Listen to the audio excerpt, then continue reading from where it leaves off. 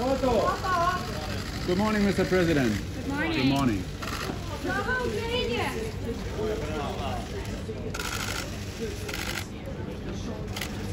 Good morning, dear journalists. Uh, on our agenda, we have, I think, for today, three priority questions. The first one is uh, weapon packages, new weapon packages for supporting our army on the battlefield and that is one. The second, uh, I think, the invitation to NATO, and uh, um, we want to be on the same page with everybody, with all, all the understanding.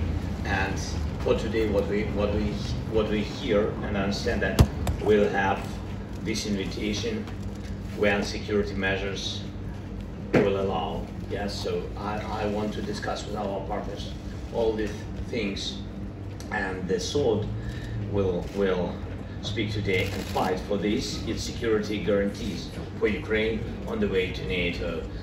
Thanks so much.